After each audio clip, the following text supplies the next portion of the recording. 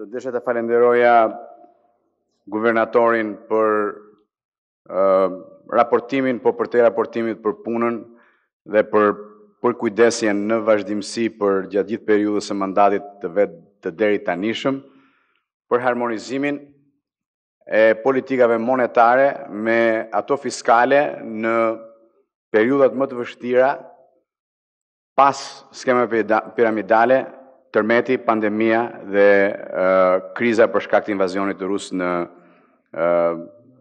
Ukrainë, nuk ka qenë ushtrim i lehtë dhe unë dua t'i referohem gjetjeve të cilat nuk janë gjetje thjesht statistikore, por ilustrojnë të gjitha reformat që ka marrë qeveria dhe përkujdesin që ka pas qeveria në vazhdimësi për proceset ekonomike, sociale, fiskale dhe indirekt së bashku me Bankën e Shqipërisë në distancë duke ruajtur pavarësinë me Bankën e Shqipërisë monetaret.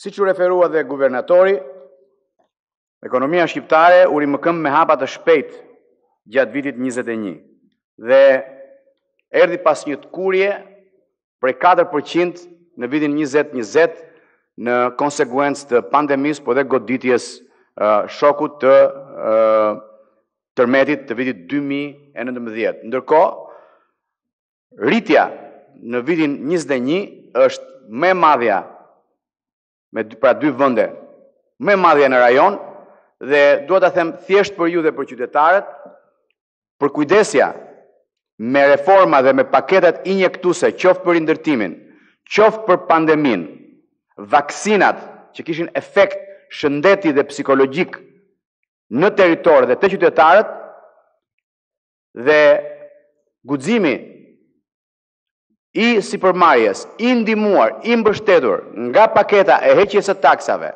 e relaksimit të taksave, e garantimit të detyrimeve ndaj bankave, e shtyrë në kohë, bëri të mundur që viti 21 të ishte vit realisht galopant në rritje, duke mbushur gjithë gropën e vitit 20 20. Shumë pak vende kanë mundësi ta thonë këtë që themi ne sot, është e vërtetuar nga një skanim tejet i kujdesshëm i Bankës së Shqipërisë për ekonominë në të gjitha sektorët dhe nënsektorët e vet. Është interesante të themi se këtu ka filluar të flitet për uh, stagflacion. Është interesante ta ndaj me qytetarët pikësëpari dhe pastaj me anëtarët e parlamentit me deputetët. Ça është stagflacioni? Stagflacioni ka tre shtylla kur ndodh. Një është ngadalësimi i rritjes, dy është rritja e papunësisë, tre është ulja e kërkesës. Sot në Shqipëri, Nuk ka asnjë nga këto të treja. Nuk ka ngadalësim të rritjes.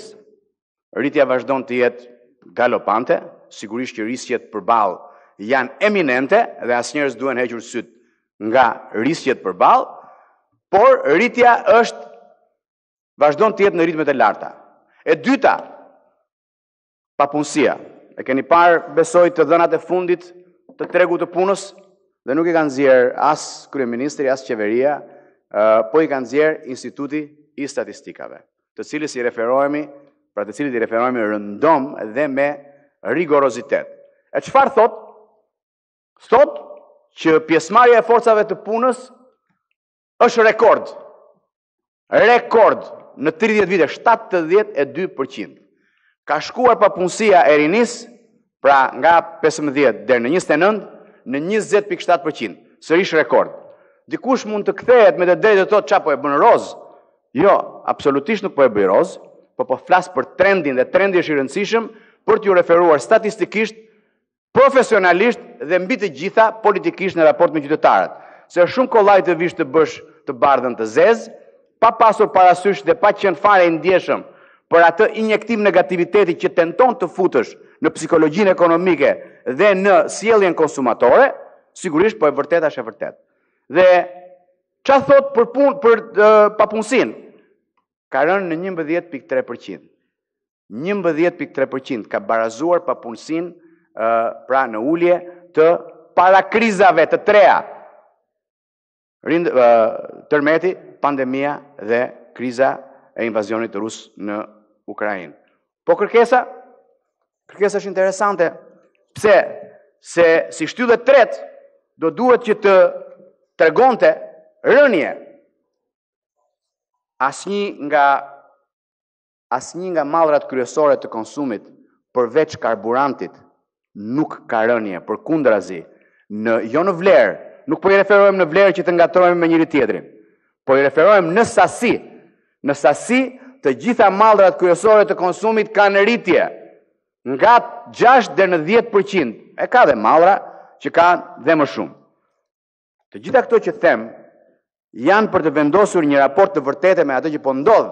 Në qoftë se nuk vendosim një raport të vërtete me atë që po ndodh, atëherë të gjitha vendimmarrjet dhe të gjitha injektimet, qoftë injektime emocionale, qoftë profesionale, qoftë politike në ekonomi bëhen të gabuara. Kjo është arsyeja, nuk është arsyeja për të thënë çka ka ndodhur. Çka ka ndodhur është fare e thjeshtë. Ne kemi arritur me politikat tona, me reformat, me paketat dhe me paketën e fundit sidomos të mbushim atë gropë që u krijua nga të tre krizat. Sigurisht që në raport referohet me detaje me detaje çfarë ka ndodhur me rimëkëmbjen.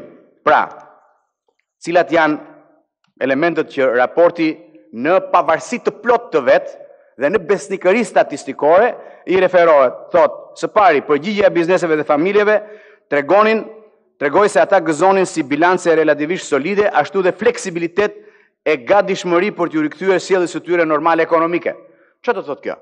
Se e lexojmë kështu si profesionalisht. Besim tek ekonomia. Është besim tek ekonomia i aktorëve ekonomikë duke filluar që nga konsumatorët dhe deri tek biznesi i madh. E këtu me një soliditet të biznesit të vogël, i cili është furnizuar në vazhdimësi me politika relaksuese që janë rekorde të paprecedenta në, në pozitivitet të vet me zero taksë për biznesin e vogël. Nuk ka precedent. Pra, po të merrni këtë qeveri dhe të diskutoni. Rezultati është fantastik. Ka mbushur biznesi i vogël gropën menjëherë të papunësisë të krijuar nga pandemia. Dhe xhiro tregon që është rimëkëmbur edhe më shumë se sa para pandemisë. E dyta, progresiviteti. Progresiviteti ka dhënë rezultat fantastik në raport me të gjithë ata që kanë nevojë. Dhe këtu diskutimi, pastaj, a, ka, a, a është kjo qeveri pro apo kundër njeriut, qytetarit në nevojë, dhe a e ka mbështetur apo jo, ai diskutimi politik, oligarkët, pyetje retorike do ta bëj prapë. A ka në botë ndonjë qeveri që në thonjza mbështet oligarkët duke i bërë biznesin e vogël zero, duke marrë dhe duke më shumë se gjysmën e të punësuarve i afruar taksa zero, duke marrë uh, uh, ndihmën ekonomike për nënat me tre fëmijë e sipër e duke e dyfishuar Më thoni, a ka ndonjë? Ka ndonjë që ia merr taksën nga 10 dhe ia bën 15 dhe që ka qeveri oligarkësh? Shikoni te vetja ju nga e djathta se kjo ju përket praktikisht juve. Po kredia në ekonomi. Kredia në ekonomi është rritur rekord. Është mbi 8%, po shkon 8.6% dhe po vazhdon. Ndërkohë që po të pyesni se çfarë ka ndodhur me të gjithë humbjet dhe me të gjithë kreditë e këqija kanë shkuar në nivel 5%, sërish rekord, sikur kemi filluar nga zero. Po t'i referoheni borxhit, megjithëse planifikuam një borxh më të lartë, me kujdesin fiskal, dhe me mbledhjen e të ardhurave, dhe me konsolidimin e vazhdueshëm në kohë krizash, kemi zbritur në 80.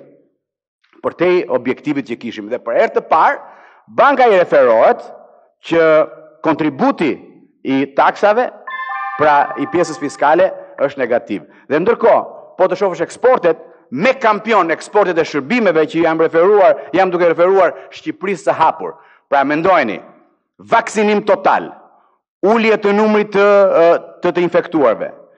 Vdekjet më të ulta, fatkeqësi sigurisht, po nuk i kemi të gjitha në dorë, i ka Zoti në dorë, po puna ka treguar që ato janë të frenuara. Hapja e Shqipërisë tregoi që ishte vend i hapur për të gjithë turistët dhe po kapim numrin e para vitit 2019. Do ta mbyll duke thënë që Risqet janë atje sigurisht. Kriza në Ukrainë është një presion jashtëzakonisht shumë i madh mbi amortizatorët ekonomikë të Shqipërisë, por ju garantoj që kjo qeveri i ka të gjitha masat gati dhe do vazhdojë me reformat pa hequr dorë nga qytetari në nevojë. Faleminderit.